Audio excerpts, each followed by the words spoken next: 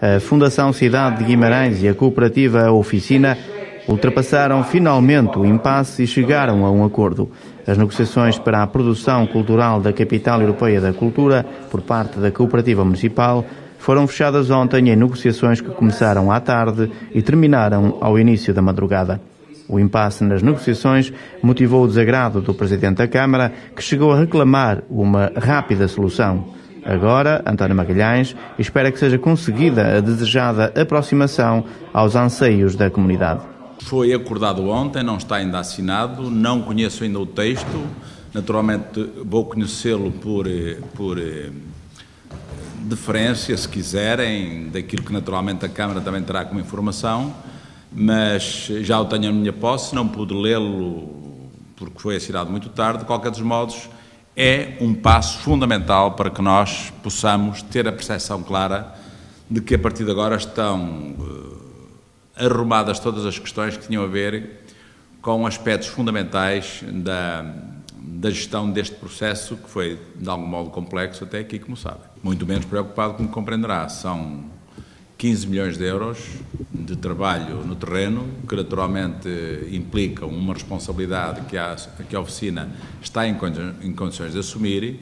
Eh, porventura terá que eh, apoiar-se também eh, em pessoas que a oficina entenda necessárias para levar a parte do projeto. De algum modo já deixei a nota relativamente àquilo que, é, que foi o papel do do anterior colaborador que esteve connosco, mas isso agora é a oficina que vai resolver e vai resolver bem, com certeza, como julgo que todos compreenderão. Apesar de ter considerado que o impasse na assinatura do protocolo não deveria ter sido tornado público, o vereador André Coelho Lima adianta que estão reunidas agora as condições para que o mal-estar existente seja ultrapassado.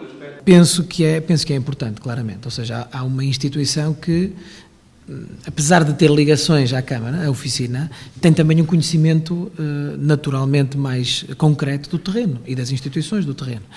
Uh, e a gestão do bolo que lhe vai tocar é muito superior àquela que foi atribuída ao conjunto de associações que vai distribuir por uma série de associações locais um determinado montante que é mais reduzido.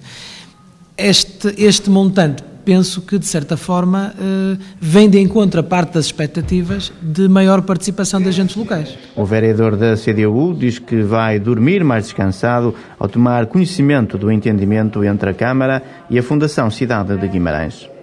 E eu hoje vou aqui mais descansado, não é? Porque eu acho que isto que é aquilo que nós estamos a precisar de ouvir já há muito tempo. Eh, a instabilidade criada e a tensão criada acho que não criava, não, não, não, não possibilitava as condições necessárias para que se trabalhe com calma e serenidade que este projeto merece. Portanto, quando aqui o Sr. Presidente da Câmara disse que está assinado o protocolo e este protocolo estipula a colaboração da oficina com uma verba de 15 milhões de euros para desenvolver a programação da Capital Europeia da Cultura, eh, acho que estabelece regras de funcionamento e que cria as condições necessárias para que, de facto, se acabe com as intrigas que têm vindo a lume. Ao abrigo do protocolo que ainda vai ser assinado, a oficina vai receber 15 milhões de euros do orçamento da Fundação Cidade de Guimarães para trabalhar a parte mais significativa da produção do programa da Capital Europeia da Cultura.